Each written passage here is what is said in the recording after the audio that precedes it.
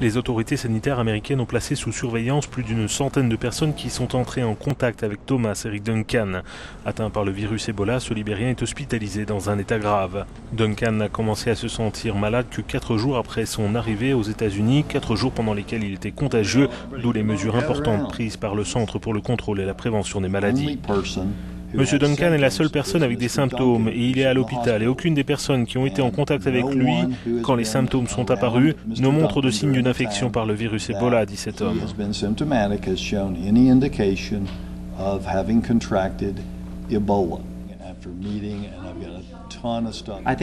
Je pense que vous savez maintenant que nous avons une liste d'une centaine de personnes qui ont eu un contact possible ou potentiel et nous allons continuer de tracer les ramifications de cette liste, explique ce spécialiste du CDC. Le Liberia a pour sa part annoncé son intention de poursuivre Thomas Eric Duncan pour avoir menti au moment de sortir du pays.